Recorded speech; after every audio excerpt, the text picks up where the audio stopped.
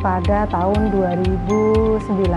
Saat itu saya masih karyawati di salah satu instansi pemerintah, tapi kemudian karena ingin fokus berbisnis sehingga pada tahun 2011, dua tahun setelah uh, unit ini uh, berdiri, kemudian uh, saya memutuskan untuk resign dan fokus di unit.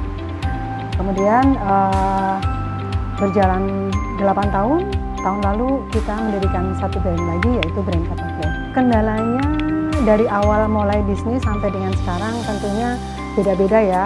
Uh, tahapannya dari awal kita lebih ke produk, tapi kemudian kita bisa menyelesaikan masalah produk. Uh, terus sampai dengan saat ini yang uh, juga menjadi tantangan adalah uh, sumber daya manusia karena semakin besar organisasinya otomatis kita butuh uh, maintain SDM kita supaya tetap bisa bekerja dengan maksimal. Dan kemudian tantangan lagi adalah uh, lebih kepada perkembangan dari uh, bisnis saat ini yang di mana pola perilakunya sudah sangat berbeda dari tahun ke tahun, apalagi dalam dua tahun ini menuntut kita untuk uh, lebih lebih mempunyai strategi yang tepat untuk perkembangan bisnis saat ini karena kita selama 8 tahun kemarin banyak di offline. Jadi kita kita pemasarannya itu uh, selama 8 tahun kita di store kita sendiri, kemudian juga ada di consignment. Tapi kemudian setelah kita melihat kecenderungan dua tahun ini, di mana memang digital marketing menjadi hal yang yang sangat dibutuhkan, gitu. Jadi akhirnya memang uh, kita mulai tahun ini konsen untuk meningkatkan diri lebih ke marketing digital.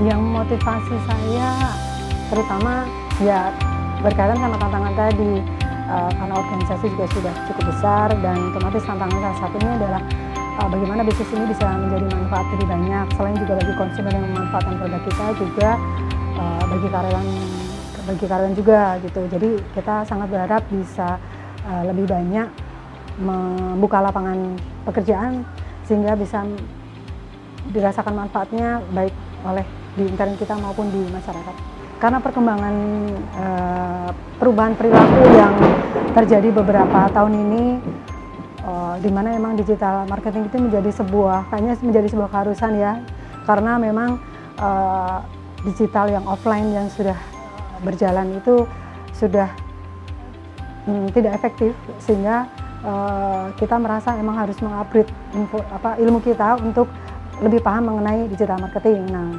kebetulan saya mendapatkan informasi mengenai uh, pelatihan ekstrem funneling di Facebook dan uh, kebetulan tepat banget dengan apa yang kita butuhkan sehingga kemudian saya juga mendaftarkan dengan tim mengikuti workshop itu.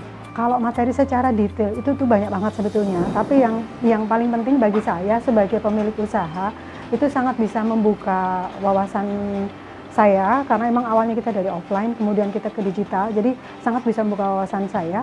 Uh, untuk lebih bisa mengarahkan nanti tim ini uh, bergeraknya harus seperti apa. Kalau dampak secara langsung yang uh, belum sangat belum sangat signifikan tapi sebetulnya untuk secara penjualan di online-nya uh, ada kenaikan kemudian juga untuk apa uh, follower kita juga sudah mulai uh, tumbuh ya tumbuh dan area offline kita pun juga ikut mengalami kenaikan. Jadi bagi saya uh, untuk untuk uh, sampai dengan saat ini mungkin tiga bulan dari ikut external funneling ya hasilnya luar biasa sih buat saya ya. Gitu alhamdulillah. Yang pertama saya dengan tim meeting dulu kan ya meeting dulu dari hasil itu hasil dari external funneling kemarin Terus kemudian kita memutuskan ya pertama banget adalah kita ngebentuk tim. Ngebentuk tim di digital marketing dan alhamdulillah saat ini kita udah ada tim digital marketing ada empat orang. Itu sih. Dari awal, uh, dari 9 tahun yang lalu sampai dengan sekarang ini bisa dibilang untuk beberapa tahun ini cukup ada penurunan. Penurunannya tapi saya uh, sadari banget karena memang keterlambatan kita untuk masuk di digital marketing gitu. Untuk teman-teman yang memang sudah punya produk dan produknya juga apalagi sudah teruji, itu kayaknya memang wajib banget untuk tahu ilmu mengenai digital marketing. Karena uh, produk saja tidak cukup, produk harus ketemu dengan pembeli yang tepat, juga harus dengan cara yang tepat, tapi dengan biaya yang efisien. Saya pikir saat ini digital marketing adalah pilihan yang yang tepat. Buat yang belum ikut uh, apa extreme funneling, kalau saya sih menyarankan mungkin ikutin dulu uh, Kang Dewa di Facebook, di Instagram, karena dia banyak kasih tips-tips lah gitu. Biasanya dari situ kita nanti bisa melihat sebetulnya yang kita paling butuh itu apa. Nah nanti uh, karena kan banyak produk tuh, karena setiap orang kan punya kebutuhannya beda-beda. Dia mungkin lebih butuh ke produk launch dulu, atau extreme funneling dulu, atau apa gitu ya. Jadi mungkin follow dulu Billionaire atau follow dulu Kang Dewa di IG maupun di Facebook. Nah, baru kemudian uh, mungkin bisa pilih nanti workshop mana yang paling tepat.